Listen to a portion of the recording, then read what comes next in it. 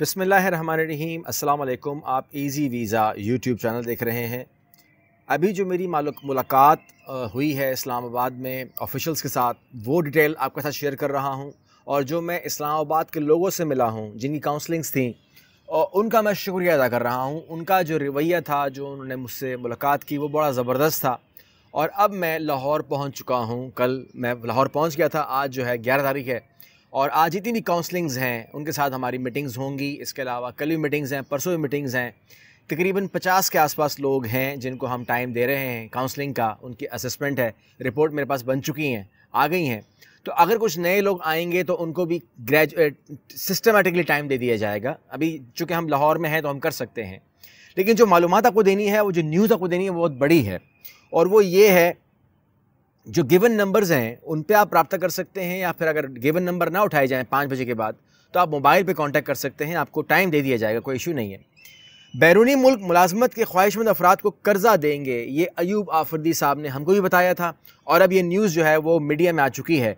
आज के आज के न्यूज़ के हिसाब से आपको मैं बता रहा हूँ, और वो ये है कि वज़र अजम के मुशीर हैं ये हमारे, और उन्होंने ये ओवरसीज़ के नीचे आते हैं, इन्होंने कहा कि ये जो मुलाजमत के लिए बाहर लोग जाते हैं, वो लोग क्या करते हैं? वो लोग जेवर बेचते हैं, वो लोग प्लॉट्स बेचते हैं, घर बेचते हैं, कर्ज़ा लेते हैं और सूद पे पैसा लेते हैं। यहाँ पर बड़ा मसला आता है क्योंकि जो बाहर कौन जाएगा?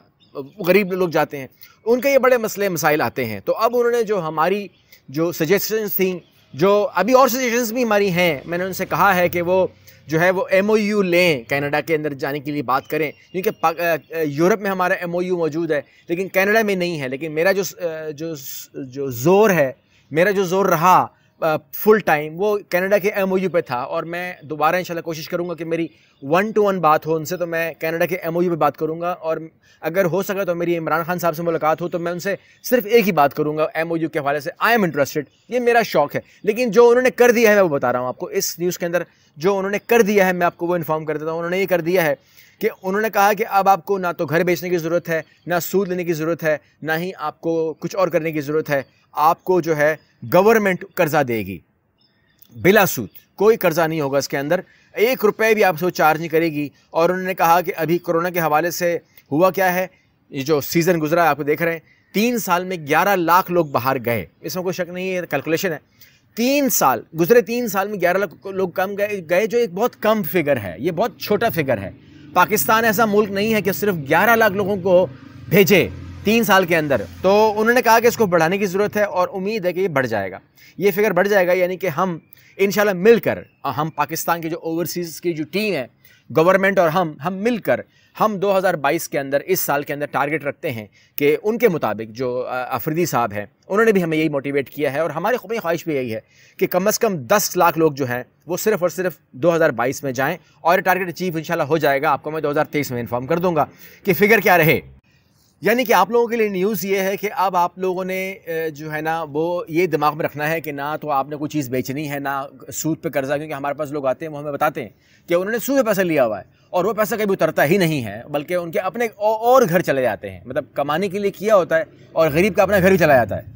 तो आप तमाम पाकिस्तानियों को जो हमारा लेबर तबका है, जो बाहर काम करना चाहता है ओवरसीज़ काम करना चाहता है, उसे बग़ैर कोई चीज़ बेचे या कर्ज़ा लिए या कोई भी काम किए, वो जाएगा, उसका एक रुपया ख़र्च नहीं होगा। टिकट ना वीज़ा ना कोई और कॉस्ट बल्कि गवर्नमेंट सपोर्टिंग कर्ज़े पे चला जाएगा और उसके बाद वो सिस्टमेटिकली जो उसका सिस्टम है, उसके मुताबिक वो भरता रहेगा और तीन साल का इसके टाइम होगा। तीन साल में आप अपना एक सेटअप बना सकते हो। यानी कि आपको कुछ खर्च नहीं होगा, ना सूद, ना कुछ बिका, बल्कि आपकी सहूलत होगी और ये सहूलत इन हम आपको प्रोवाइड करेंगे। मतलब हमसे मुराद ये है कि सिर्फ़ मैं नहीं, हम तो प्रोवाइड करेंगे ही। हमारी अल अबीरो ओवरसीज सर्विसेज़ तो प्रोवाइड करेगी ही। बल्कि हमारे जो और भाई हैं, जो लाइसेंस्ड हैं तो ये तमाम सर्विस जो है, इंशाल्लाह आपको हमसे मिल जाएगी, हम इसमें सपोर्ट करेंगे, आपको इसमें भी असिस्ट करेंगे कि किस तरह कर्जा लेना है, क्या करना है। लेकिन वो एक सिस्टम से जुड़ा हुआ मामला है, वो ऐसा नहीं कि आप बैंक जाएँगे, आप बोलेंगे, जी, मैं बाहर जाना चाहता हूँ, मुझे पाँच लाख रुपये दे दें। ऐसा नहीं होगा। वो हमारे सिस्टम के तहत ही होगा, हम आपको गाइड कर देंगे। लेकिन उसके लिए एक बार समझ लीजिए कि जब वो ओपन होगा, उसकी शराइ उसके फॉर्म डॉक्यूमेंटेशन तरतीब, इस वीडियो पर चैनल में मिलेगी। आप लोगों ने चैनल को फॉलो करना है ताकि आप उसको ले सकें मुझसे। सब्सक्राइब कर लीजिए चैनल को। वीडियोस को मिस मत किया कीजिए। ये इन्फॉर्मेशन आप लोगों के लिए होती है। ये कर्ज़ा या ये सिस्टम या आपको भेजना, ये आप लोगों के लिए है। तवज्जो से देखा करें, ये तमाम सीरियस मामला हैं। सिर्फ़ हम ही नहीं, बल्कि वो तमाम ओवरसीज़ कंसल्टेंट जो लाइसेंस्ड हैं, ये बात दिमाग में रखिएगा। मैं एजेंडों की बात नहीं कर रहा हूँ, जो आपसे होटल में बैठ के मिलता है। तो आप जो लाइसेंस्ड हैं, वो आपको ये सहूलत देंगे इन आपको किसी एजेंट के पास जाने की ज़रूरत नहीं है। एजेंट शायद आपको पाँच लाख के भी पचास हज़ार मांग लेगा आपसे। तो आपको उसके लिए एक रुपये नहीं देना है। किसी को आपने एक रुपये भी नहीं देना है और आपको कर्ज़ा मिलेगा इन ये बात दिमाग में रखें कि एजेंटों से आपने बचना भी है इन अल्लाह हाफिज़।